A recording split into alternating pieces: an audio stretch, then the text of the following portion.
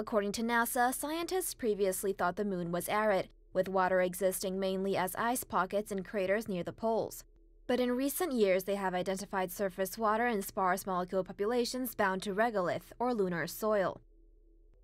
Observations gathered by an instrument on NASA's Lunar Reconnaissance Orbiter indicate that water moves around the day side of the moon. Water molecules remain bound to the regolith until surface temperatures peak during lunar noon.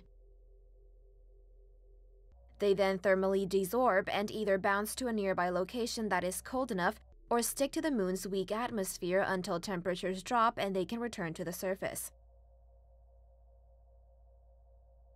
Scientists have hypothesized that hydrogen ions in the solar wind may be generating most of the moon's water.